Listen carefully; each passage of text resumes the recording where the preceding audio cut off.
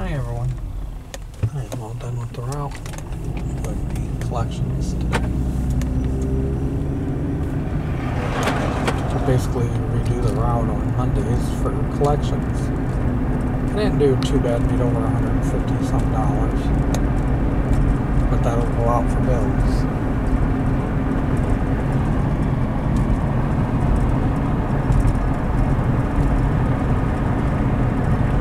I'll need to get something to eat when I get home because I'm getting hungry. Because I stopped at Dunkin' this morning and I had a roasted chicken pepper wrap and I also had a caramel craze iced latte. But now I'm getting hungry and I'm also thirsty.